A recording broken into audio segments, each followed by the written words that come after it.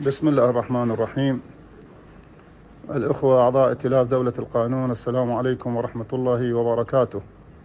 بلغني أنكم تشتركون مع الأخوة الآخرين في اجتماع تتداولون قضية تغيير المحافظ وهذا ليس قرارنا ولم يصدر منا هذا التوجيه أبدا ولا قرار الإطار الذي نلتقي معهم في قواسم مشتركة في المحافظات كافة. لذلك نرفض هذا الاجتماع ونرفض النتائج وأرجو أن تخرجوا من الاجتماع ولا توافقوا على عقده إلا أن تناقش القضية مركزيا. والسلام عليكم ورحمة الله وبركاته.